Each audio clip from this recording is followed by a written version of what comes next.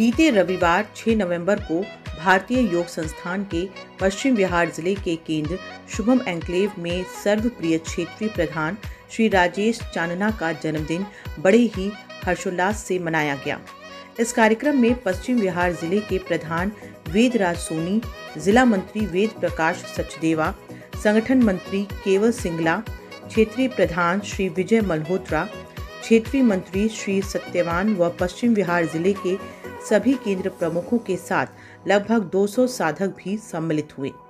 श्री राजेश चानना की धर्मपत्नी श्री मुस्कान चानना भी उपस्थित रहीं।